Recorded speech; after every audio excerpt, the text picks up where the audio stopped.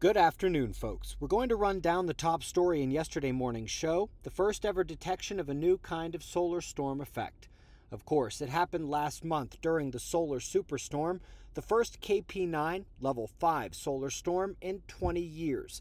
Several X class flare driven CMEs impacted Earth and caused the event.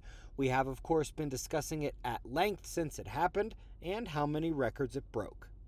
So here's the new paper the equatorial electrojet and ionization anomaly merged with the southern auroral oval due to both being so juiced up from the solar impact. This caused a complete depletion of the ionosphere in mid latitudes of the southern hemisphere.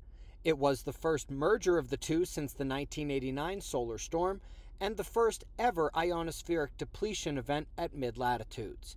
It is possible it happened in the 1859 or 1921 storms and we just wouldn't know it.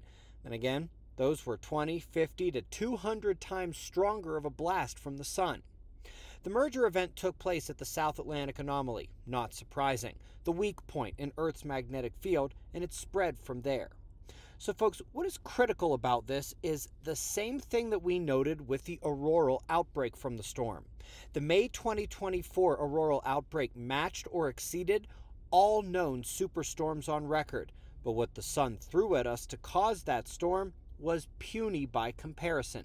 And the reason the Earth effects reach such levels is the weakening of our magnetic field and the ongoing pole shift.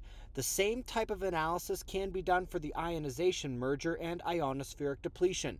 We have taken far greater impacts from the sun in just the last 20 or 30 years, haven't seen anything close to that level of Earth disruption, and it's all pointing to the increased vulnerability of our planet.